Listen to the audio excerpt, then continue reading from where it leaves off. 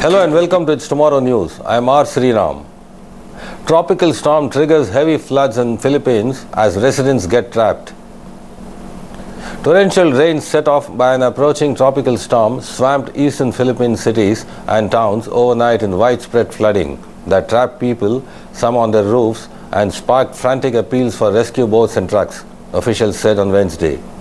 The government shut down public schools and government offices except those urgently needed for disaster response on the entire main island of Luzon to protect millions of people as tropical storm Trami blew closer from the Pacific. The storm was about 310 kilometers east of Baler in the northeastern province of Aurora with sustained winds of 85 kilometers per hour and gusts up to 105 kilometers per hour. It was forecast to hit Aurora's coast on Wednesday night. Thousands of villagers have evacuated to emergency shelters in northeastern provinces, and storm warnings were raised in more than two dozen northern and central provinces, including the densely populated capital of Manila. No fatalities or major injuries have been reported.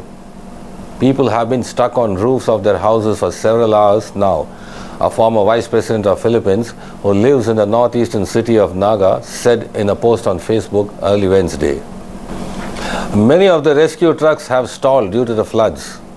Coast Guard personnel have been rescuing residents in flooded villages in the eastern provinces of Sorsogon, Albay, Camarines Sur, Catanduanes and outlying regions since Tuesday. But provincial authorities said the number of rescue boats and personnel was not enough.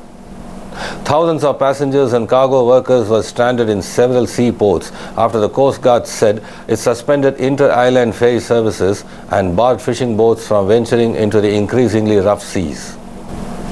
Thousands of villagers were evacuated from low-lying communities and landslide-prone areas starting two days ago in Camarines Sur, but many more were asking for help.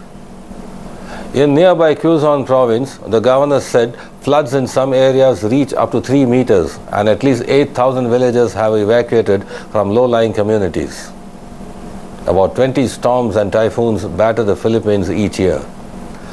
In 2013, Typhoon Haiyan, one of the strongest recorded tropical cyclones in the world, left more than 7,300 people dead or missing, flattened entire villages, swept ships inland, and displaced more than 5 million in the central Philippines.